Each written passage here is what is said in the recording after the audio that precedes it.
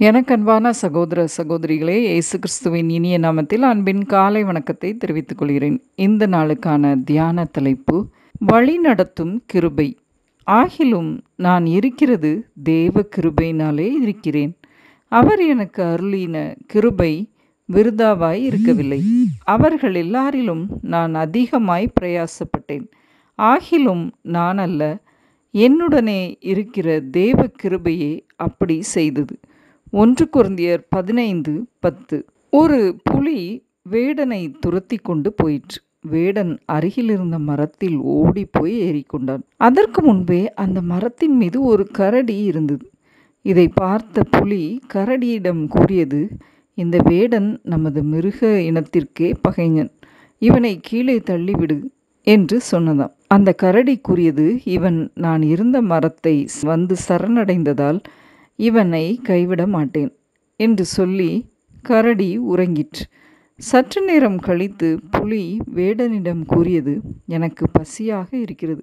நீ அந்த கரடியை கீழே தள்ளிவிட்டால் நான் அதை உண்டு பசியாறி உன்னை விட்டு விடுகிறேன் என்றது. உடனே வேடன் வேகமாக சென்று அந்த கரடியை கீழே தள்ளிவிட்டு விட்டான். கரடியோ மரத்தின் கிளையை ஒன்று பிடித்து கொண்டு விழாமல் தப்பி மேலே ஏறிக்கொண்டது. அப்பொழுது புலி கரடியிடம் சொன்னது இந்த மனிதன் நன்றி கெட்டவன்.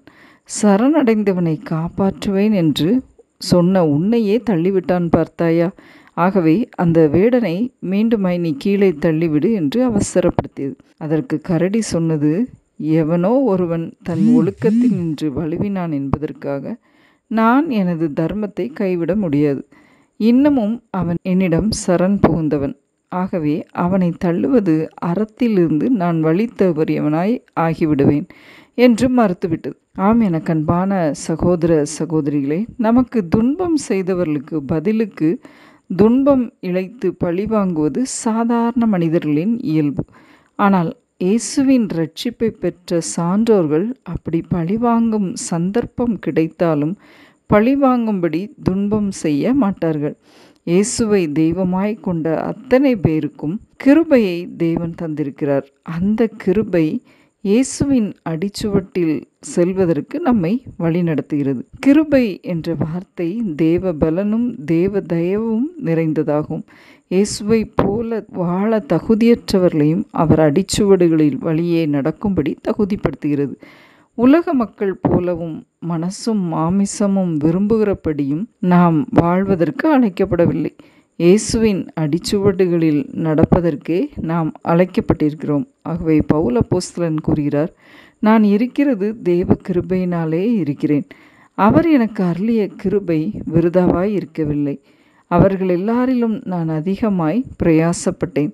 ஆகிலும் நான் அல்ல என்னுடனே இருக்கிற தேவ கிருபையே அப்படி செய்தது. ஆம் என கண்பானவர்களே நாம் மனுஷ குணத்தோடு நாம் செயல்படாமல் தேவ கிருபையினால் ஆவியினால் நாம் நடத்தப்படுவோம்.